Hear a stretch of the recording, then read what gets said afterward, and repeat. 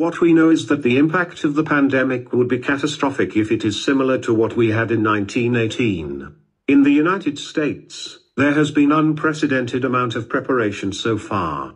It's, um, affects every aspect of public health. We have efforts for treatment, efforts for better prevention, clinical management, key communications, the domestic and international responses, and also efforts to try to prevent transmission within community. The federal government has a tremendous amount of resources that they have put into development of the new antiviral drugs, antiviral drugs stockpiles, development of new vaccines and manufacturing facilities for vaccines. So, there's quite a lot that's happening in the United States.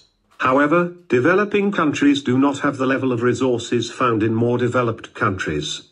That's the real challenge.